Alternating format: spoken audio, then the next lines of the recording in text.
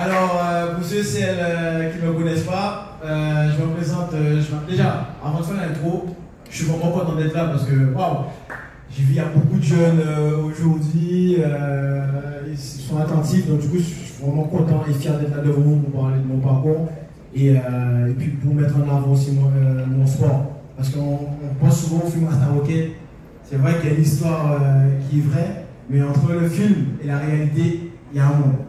Voilà, donc du coup, euh, je me présente. Je m'appelle euh, Jacques Laporal, j'ai 30 ans.